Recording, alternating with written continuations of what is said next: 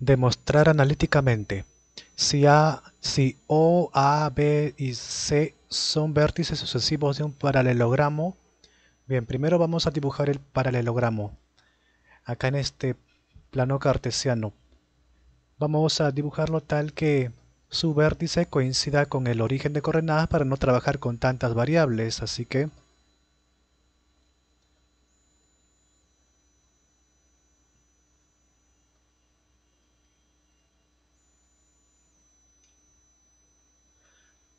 Entonces acá tenemos ya el paralelogramo, ¿verdad?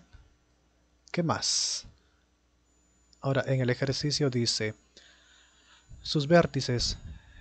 Bien, primero el vértice O de origen está por acá. Ahora los vértices sucesivos A, B, C. Listo. D y E, puntos medios. D de AO.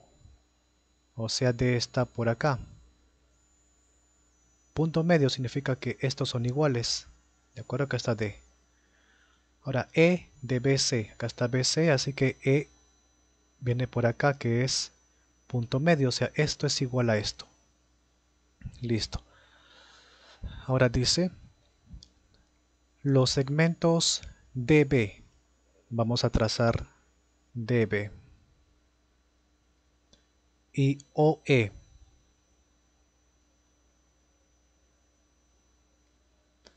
Trisecan a la diagonal AC. Trisecan significa que lo parte en tres partes iguales. Es decir, tenemos que demostrar que estos son iguales, ¿verdad? Ahora, ¿cómo lo demostramos? Primero, vamos a observar estas dos rectas, ¿de acuerdo? A ver, vamos a colocarlo un poquito mejor para que parezca de verdad que es punto medio, ¿de acuerdo? A ver, un poco más abajo. Ya, que esté ahí. Listo.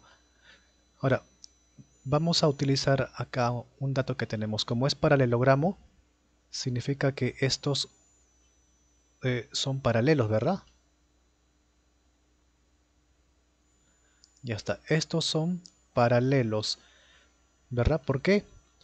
Porque acá como estos otros dos lados son paralelos y tienen el mismo tamaño, significa que esta, estas dos rectas también son paralelas, ¿verdad? ¿Cuál es la idea? En este triángulo que estoy marcando aquí, si logro demostrar que este es igual a este, y luego en este otro triángulo también demuestro que estos son iguales, ya habré demostrado que hay una trisección, ¿verdad?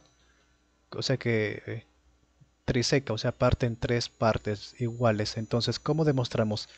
Vamos a partir de un triángulo que por dato una recta sale del punto medio que, y que es paralela, paralela, a la base, ¿verdad? Ya hemos visto que estos son paralelos porque sus, sus otros lados son del mismo tamaño y paralelos, listo. Si sale del punto medio y es paralela al que está abajo significa que estos son iguales y eso es lo que primero vamos a demostrar. Todavía no lo sabemos. Lo demostraremos analíticamente también acá debajo. Como es un triángulo, vamos a graficar un triángulo por acá. ¿De acuerdo? También hacemos coincidir su vértice con el origen.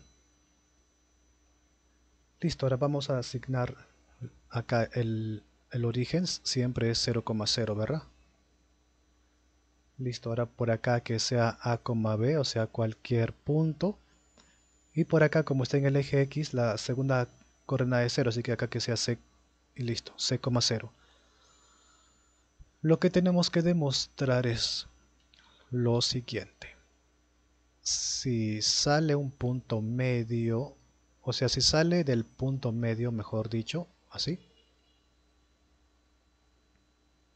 Vamos a señalizar, ¿de acuerdo? Para que se vea que es punto medio. O sea, si estos son iguales y acá son paralelos, vamos a demostrar que esto es igual a esto. ¿De acuerdo? Eso es lo que vamos a probar primero que nada. Eh, ¿Quién viene aquí? Bien, como son paralelos, entonces esta altura es igual a esta, es igual a esta, ¿verdad? Bien, acá por datos sí tenemos que es punto medio, así que punto medio entre dos coordenadas se suman y se divide entre dos después, ¿verdad? Primero A más 0. Primero con primero, A más 0, A y sobre 2. Ahora las segundas, B más 0, B y entre 2. Listo. Como están a la misma altura por ser paralelos con la base, significa que tienen la misma altura, ¿verdad? Paralelos, o sea, va en la misma dirección y nunca se choca con la base. Ya está, misma altura. Acá no se sabe. Vamos a hallar X. Listo. Para eso vamos a trazar una perpendicular para poder aplicar la semejanza de triángulos, ¿de acuerdo? Entonces ahí vamos a trazar una perpendicular, así que 90 grados por acá. Listo. Acá hay otro triángulo pequeñito. Acá en este triángulo grande la altura, la altura siempre es la segunda, o sea B. Esta es la altura. Acá sería B medios. Esto. Ahora, acá cuánto la en el punto la primera coordenada es A, así que viene A por acá. Como es 90 grados es como si fuese reflejado acá, ¿no? Una proyección del punto. Esta es eh, la distancia, pero como coordenada sería A, 0. ¿De acuerdo? Pero acá es una distancia A. Ya está. ¿Qué más? ¿Qué longitud tendría lo que está por acá? Todo esto es C x viene acá, todo esto es x, entonces este pedacito sería c menos x. Y este triángulo grande con este triángulo pequeño son semejantes, o sea, si dividimos b entre la longitud que está acá abajo, va a ser igual a b medios entre la longitud que está acá debajo. Haremos eso, a ver primero, b entre esto, o sea, ¿entre quién? ¿Cuánto mide todo este pedazo? A ver si hasta acá es una eh, C, ¿verdad? Acá es C. Todo esto mide C. Y todo esto mide, como dice acá, A. Esto sería entonces C menos A, ¿verdad? Todo este es C menos A, C menos A. Ahora en este triángulo pequeño, la misma proporción. Ahora, B sobre 2 Ahora, ¿cuánto vale este pequeño? Acá está el punto C y X. X se proyecta hasta que es X. Entonces este pedacito sería C menos X. Y listo, desarrollamos esto que está dividiendo, pasa a multiplicar, sería B, BC menos ahora X por B. Y ahora esto por esto, ¿verdad?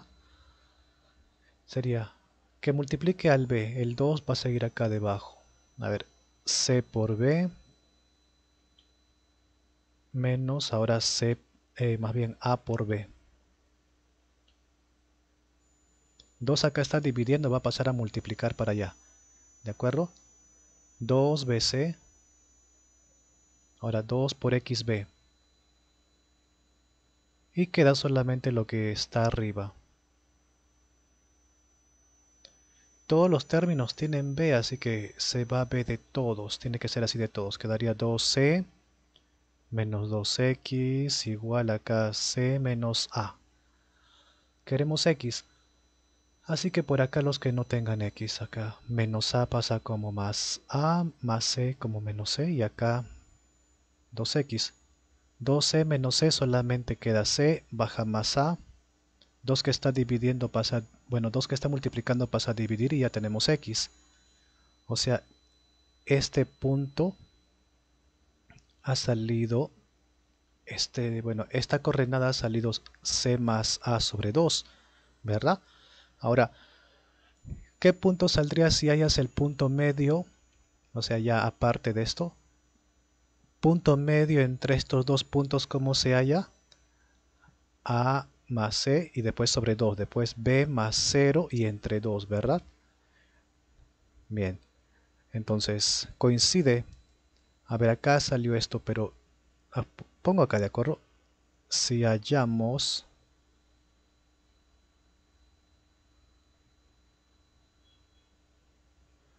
punto medio,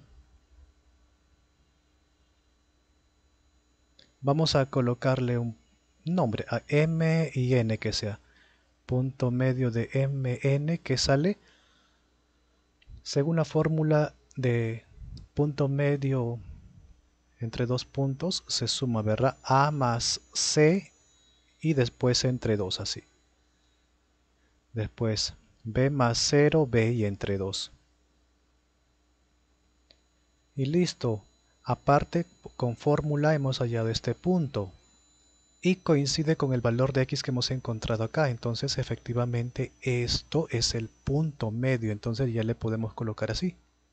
Ya hemos demostrado que este puntito es punto medio. Listo, ahora vamos a utilizar este resultado. A ver, en O, A, a ver, acá le ponemos M, a ver.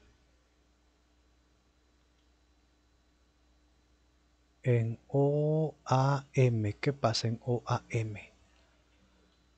Acá están paralelas y sale del punto medio. Por lo que hemos probado, entonces significa que esto es igual a esto, ¿verdad? Podemos colocar así, mismo tamaño, así que mismo símbolo. Listo. Luego en, a ver acá le ponemos n, ¿de acuerdo? Otro punto. NBC.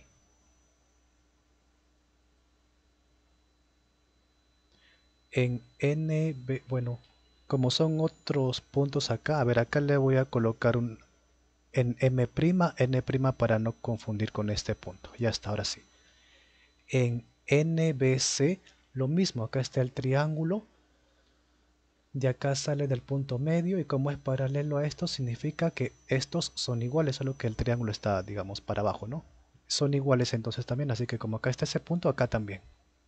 Y listo, ya hemos conseguido demostrar que, bueno, claro, analíticamente que son iguales, así que efectivamente trisecan, ¿verdad?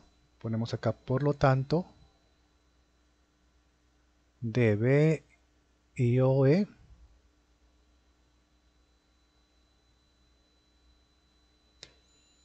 trisecan a AC, lo parten en tres y ahí termina.